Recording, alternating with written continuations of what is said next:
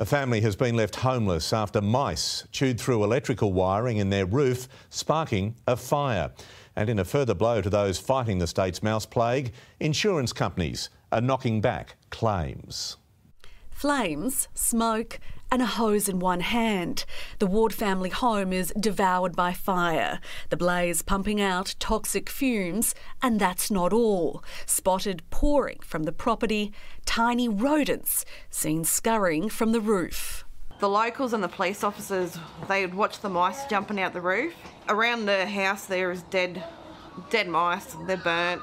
And this is what's left mangled metal and melted tin.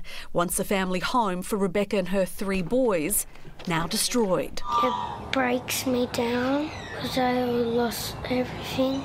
As for the culprit, early indicators point to this. The RFS are now examining if Nord electrical wiring spawned the sparks in Wobbegar near Narrabri Shire. We were told yesterday the mice were, yeah, in the roof, the wires. A plague which has been pushing regional residents to breaking point.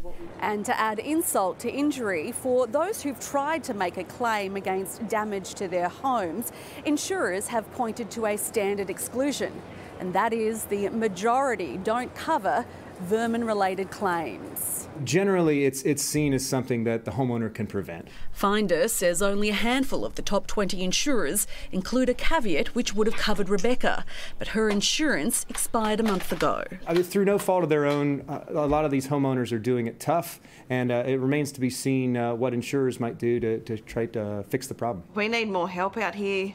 Airlie Walsh, 9 News.